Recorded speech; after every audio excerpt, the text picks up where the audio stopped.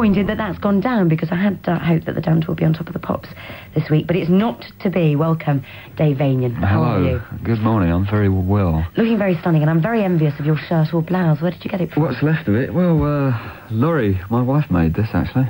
Very, very good with the old needle and thread. What's it made out of? Because it looks really old. Can I feel it? Yeah, feel it by all means. It's like Terry Wogan's knees, isn't it? but much nicer. Actually, we were having a very morbid conversation there because I was asking you if it was true that you were once a gravedigger, and Which you said it yes. certainly was. Yeah, for uh, about a year and a half, two years. I did it because it was um, it was in between. It was those times when you get in a dead end job, if you pardon the pun. And Oh, uh, dear. I was, I was, you know, just it was a quiet place to think and decide what to do next. Basically, it fitted perfectly. Except I used to sing a lot when I was in there, so I used to disturb people now and again, but no one that was actually sleeping at the time, you know, underground, as it were. Did it ever depress you, or did, was it ever morbid? It's funny. It's it's not like that because it's it's the people that go there to visit are usually quite jolly people. You know, had a few odd experiences, but nothing. Uh, Like what? you know. Well, the worst one really was um, there was an old guy that used to come to the graveyard often. We used to see him. And he died, and they had his funeral. It was all very sad, just a few people. And then the week after his funeral, we saw him come to the grave and visit. What we didn't know is all the time we'd been working there, he had a twin brother. Oh. oh dear, that shocked me, and I didn't even see him. Oh. he used to maintain that if you put your um, ear to the grave of his brother, you could hear his pocket watch ticking as well. Very strange. Did it put you off being buried? I mean, did it sort of make you think that you'd like to be cremated? No, not really. It Didn't put me off. It's quite. It was. It was okay. It was a good job for the time. As you were saying before, though, that you'd like to have a, what was it, a memorial stone? with Yeah, I'd like to have a memorial stone where you could, you know, put a few. I don't know, put five pence in or something, and see a video playback of the of the band or something. It'd Be great. You know, this is how we were when we were alive, folks. And a- Could you imagine damned records sort of blaring out over the... Ah, good actually. That'd be great. Wake a few people up. So what sort of things were you thinking about? Because you said it gave you time to think and plan on what you wanted to do. What were you thinking of? Well, it was just a, you know, what was next, and what was next was starting the band, basically, and getting in the group. And it gave me a lot of time to, because I could do the work early in the morning, knock off, and get into London and do, because it was outside of London, about 40 miles out, and, uh, you know, meet people and stuff. It worked very well. So when was this? What year were you grave digging? Uh, this must have been 75, And the damned got together in 77, 76. 76, Yeah. So it's almost a decade of the dam now, almost 10 years. and 11 managers. Yeah, uh, and uh, numerous record commitments, contracts, you name it, we've gone through it. Why have you gone through so many things like a dose of salt? I think because a lot of people saw the damned as an easy way of making some fast money and getting out quick, you know. Uh, and we were very unlucky in the fact that we decided to go s- with independence and and people that uh, I don't know. Every group's been ripped off at the beginning, though. You know. Malcolm McLaren managed you, didn't he, before you? Very briefly, Yeah. very briefly for a- for a while, but it was before we were actually the Damned. It was still myself, Rat, and Captain, and it was uh, Chrissie Hynde was the guitarist at the time. She wouldn't sing. I kept saying to her, "You got a great voice." Used to go down underground stations and things. and She'd burst out these huge uh, voice singing, and we said, "You know, you've got to get in," but she wouldn't. Of course, years later, she became famous with the Pretenders. So. It didn't last, you know. It, the reason we were with Malcolm, one of the reasons was was good because we had cheap rehearsal time in an old church that we never paid for. But uh, we almost were the Sex Pistols. Really? The Sex Pistols were almost the Damned. The names were almost changed. Very weird. How did you end up being the damned, and how did they end up being the Sex Pistols? Well, it was. It wasn't so much. It was. It was just that the names were picked at the same times, but they weren't decided upon. You know, like Brian really picked the name for the band. Never really knew why he picked the Damned, but it did fit uh, after the years of eleven managers, as you say. And you've never been tempted to change it or anything like that? you? No. Good. Another lesser known fact was Sid Vicious was almost the Damned's lead singer, but he didn't turn up for the audition, so he didn't get it. You're joking. Yeah. Gosh, things could have been really, really different. It could have been they? very strange. Yeah. I mean, pop history could have been quite, quite different. Completely warped, yeah. I wonder what would, would have happened had Sid Vicious been singer with the Damned. I mean, would the whole Sex Pistols thing been Who the knows? Damned thing or what? Who knows? Who can say? Yeah, I don't know. Well, let's have your first piece of music, which is a track by the Rattles called The Witch. Why do you like this? Ah, it's great, great song. Because it's still quite fresh when you listen to it now. Know, it doesn't sound dated at all. And it's got those manic screams. I'm a sucker for those manic sort of screams and things. Okay, Manic Screams. here Strings as well. The strings, listen for the strings. And the strings and everything else.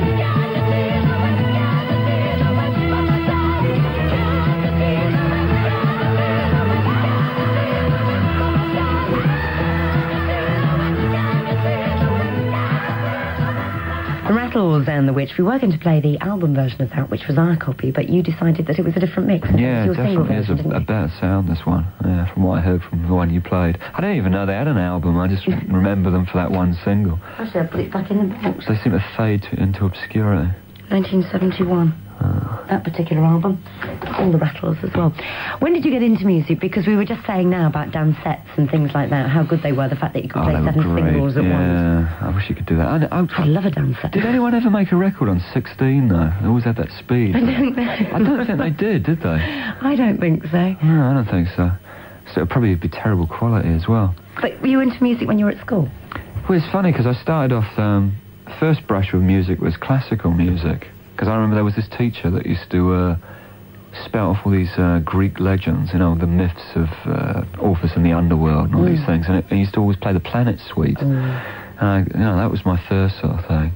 Um, but my parents were always playing dodgy uh, 50s and 60s things like Freddie Cannon, you know, way down yonder in New Orleans and all those things. And, My dad used to sing that when he washed the dishes. uh, really. And they had a whole pile of 78s as well with these really weird um, German tangos and things that were great, really good, good stuff. But uh, I've, yeah, I've always liked music. Apparently, when I was in the cot, I was always banging things and singing, and, uh, singing along. Had you always wanted to be in a band, or was there any other ambition that you had? Uh, no, I was unsure of exactly what I was going to do. I always knew I had to be able to do something that would give me, uh, you know, a certain amount of freedom, free reign to do uh, as much as I could in whatever way. Because I'd, like, I'd really like to do film soundtracks one day, something we'd like to move into. Does music actually give you freedom, though? I mean, haven't you got lots and lots of deadlines and things to meet? Yeah, but it opens a few doors as well, Mm. you know, because it's such a sort of, uh, I mean, it's it's very connected, the movie business and the, and the music business, so that's handy for me because I've always been a, you know, a big sort of film fan and stuff. That's why I've picked two uh, soundtrack albums on this thing. What's your favourite all-time movie? Oh, that's a really difficult one, an all-time movie. Or do you have favourite actors or actresses? Yeah, people like I don't know anyone Orson Welles even. I love I loved Citizen Kane. and The Mm. music in that's great, and the way it's shot. But uh, but now the Britain's turning out some good films again. I mean, Company of Wolves was great, a really good film. Take You- my hat off to. Do you ever go to see a movie though, and because you'd like to do a film soundtrack, do you ever look and listen and think, I wouldn't have done it like that? I don't know. It depends. Uh, it's not so much I wouldn't have done it that way, but you kind of think if I had the chance, you know, what you would do. That's a great thing. Yeah. This next piece of music is from an album called uh, Christine, the soundtrack to Christine, and it's the, the Viscounts and Harlem Nocturne. I don't know anything about it. Well, it's just a, a really old sort of '60s band. They did they did quite a lot of things, but this has got a great sax solo, a real sort of sexy, laid back sax, which is marvelous. Okay.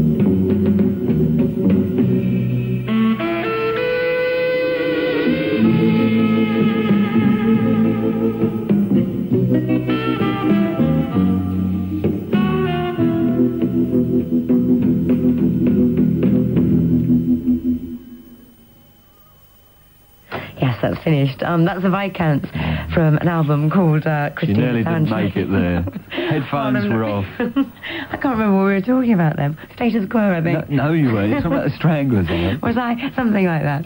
Um, your next piece of, of music is from a movie as well, isn't it?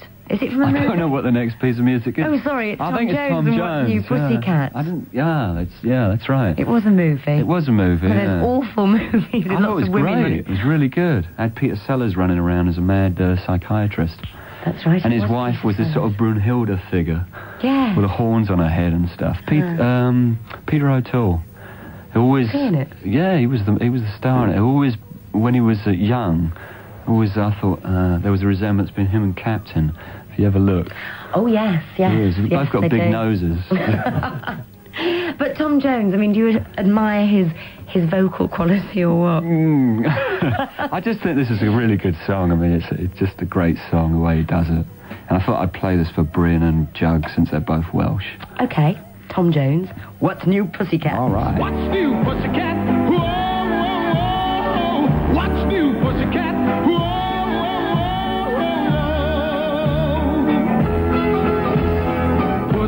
Pussycat, pussycat, I've got flowers and lots of hours to spend with you. So go and powder your cute little pussycat nose. Pussycat, pussycat, I love you. Tom Tom Jones, um, What's New Pussycat, and you were saying that there's a resemblance between Tom Jones and Prince. I think so. Yeah, definitely in his in his in his expressions. Because you went to see Purple Rain the other night. Yeah, yeah. What was it like? You better say it's good because we're giving three three copies of that Well, I actually, I actually, you know, I mean, Prince gets a lot of slagging, but I actually quite enjoy what he does because he looks like a man who's enjoying himself, and that's, I think that's good. There's no doubt about the fact that he, I mean he's very very talented. Oh, absolutely. And he he puts, uh, you know, he puts over a show. He works tremendously hard.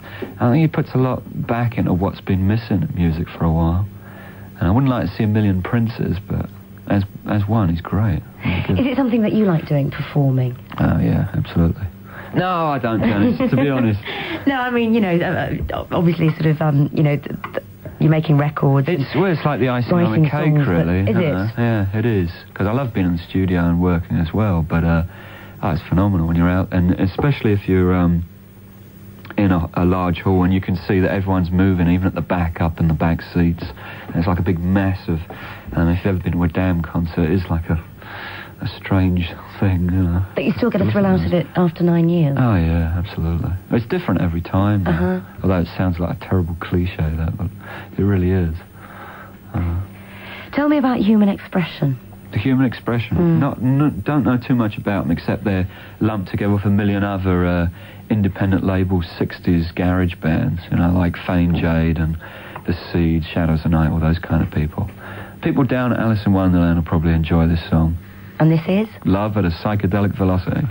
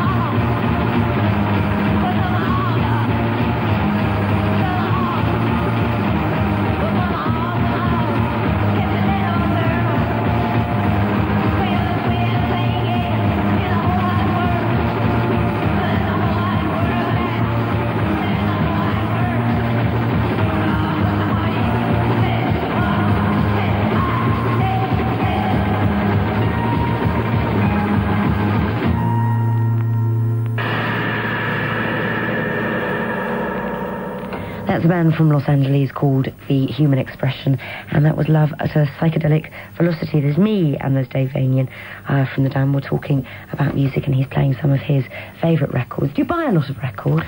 As many as I, I can. I don't buy. Um, what I tend to do is spend ages not buying, and then have to go out and buy a whole bunch at once. And uh, but uh, because a lot of things I like are these dodgy '60s things, it's better to do something like go to America when you're on tour and looking, you know, places like I don't know.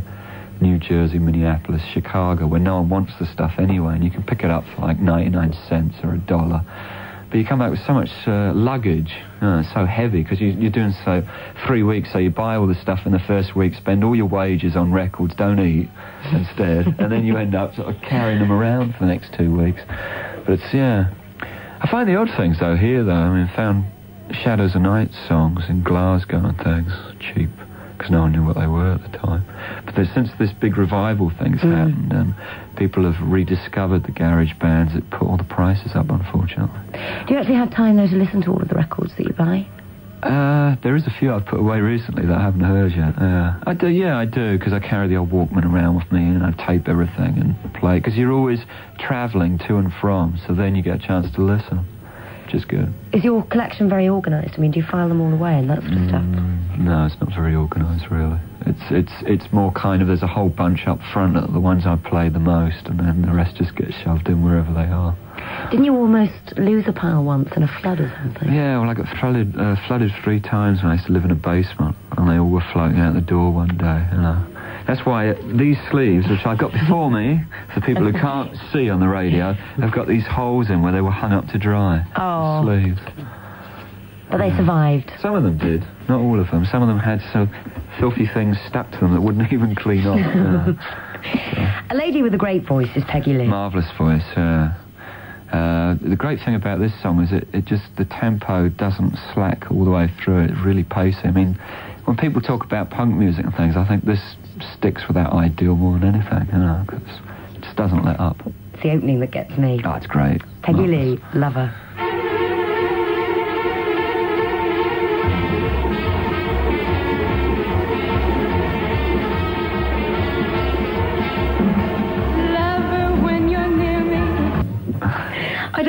left anything out of that, No, did they? everything's. I think anyone who heard that would have to surrender after hearing that. It's great. Oh, wonderful. Lady with a marvellous voice. Yeah, Peggy Lee Yeah. and Lover. Working in music, listening to music, do you get time to do anything else at all? Mm, not a lot actually these days. Uh, music pretty much takes up 24 hours of my time now. And it will do for the next two years, I'm sure. You know, try and take the band off the, the uh, get them off the ground. You're in the studios at the moment, aren't you? Yeah, we're just in with uh, a producer called Jon Kelly, uh, recording the new album, and it's going very well, very well. You had Bob Sargeant for the single, didn't you? We did, yeah. So why did you pick another guy for the album? Uh, well, Bob was just picked basically for that one single thing. He wasn't, you know, it wasn't set for the album. And uh, there's one, we did quite a lot of work with him. It's really co-produced that one, whereas Jon Kelly's in there and producing it. He's very, very good. He's used to working with Paul McCartney and people like that, so Kate Bush and things. It's going very well. when will the album be ready? Well, hopefully it'll be released around June. So, I don't know. We're working very fast, obviously, because we've got the tour and uh, you know the old schlepping around Europe and America, everything coming up. So that's all looking good. Very exciting. Next piece of music is uh, by John Carpenter, and it's the soundtrack from Halloween, isn't it? The theme. It's the main theme, yeah, which is. Uh, it's great. Every it's it's unusual for um, a film director also write the music, which he seems to do quite a lot. He did it on The Fog and uh, Assault on Precinct 13. So not only is he, um, I mean, Halloween really started the spate of these new films with, you know, people running around. Who was in this one? I think I might have Jamie Lee. Curtis. That's right. The ba- when she was babysitting. That's right. Yeah, yeah. It's a, it's a really good film. Uh, it's, right. it's, it started off a lot of imitators that never actually managed to, to make a film with the same suspense because you actually get to know these characters instead of you know people getting chopped up without you even knowing who they are, so you don't care. But the music especially really lifts it out. There's lots of uh, what they call stingers at the right places. You know, like it's a lot like Psycho in a way.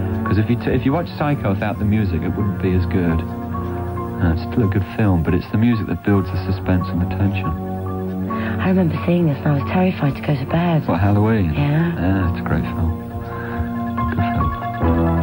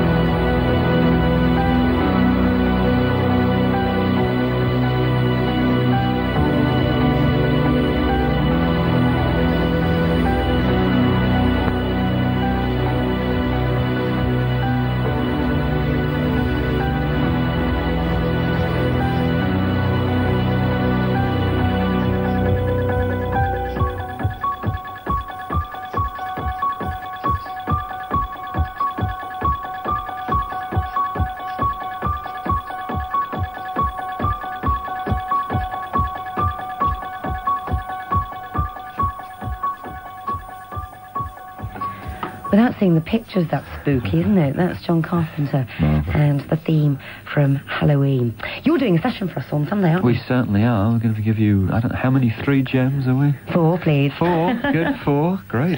I'll crack the wick. Uh, cr- crap, Crack the wick. the wick and demand four. so when does the tour start? Well, the tour starts around uh, the 25th, I think, uh, of next month. And that's going to be a 40-date tour taking in all points north of the compass, etc., etc. In fact, you're touring with a band that we're going to play later, aren't you? Well, so it seems. We're having the Fuzztones with us. Uh, uh, dodgy American band.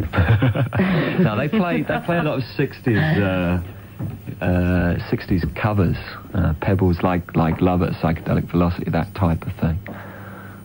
And the 40 dates, will they all be... I can see John country? Peel poking his head round the corner. What are you doing? I wanted to know what it was you're going to do to that whip you were talking about just a moment ago.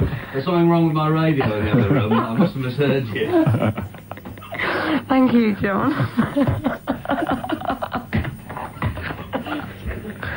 Well, that's just You That's a complete breakdown at the BBC here. Wow, we talk about whips and handcuffs and. um, the, Come on, Janice, professional.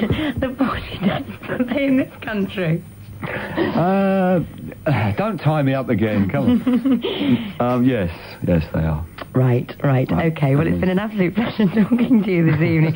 and this next track, uh, another over-the-top production, a bit like the Peggy Lee Absolutely. and Lover thing. It's Barry Ryan and Eloise. I think um, Barry Ryan uh, and Paul Ryan have been sadly forgotten. You know, everyone waxes lyrical about Scott Walker, which I think was marvellous. But uh, I think this is absolutely superb. Great singers. Very strange personality, though. Apparently, Paul wrote most of the lyrics and was slightly, towards the end, a bit unhinged. And if you listen to the songs, it, it comes out. You know, there's a, a tension in there. It, it starts off with what you think is going to be a pretty song, and it doesn't. It grabs you after a while. Whose sons were they? Marion uh, Ryan, I think. That's it. Yeah. Because they were quite famous. They were great. Oh, weren't yeah. they? They'll probably be rediscovered soon, I think. Well, as I say, it's been a pleasure, Dave. Yeah. And uh, is it back to the studio now, or what? Uh, only if you're going to crack the crack the whip again. I think we shall give up. This is Barry Ryan, Eloise. Cheers. Well,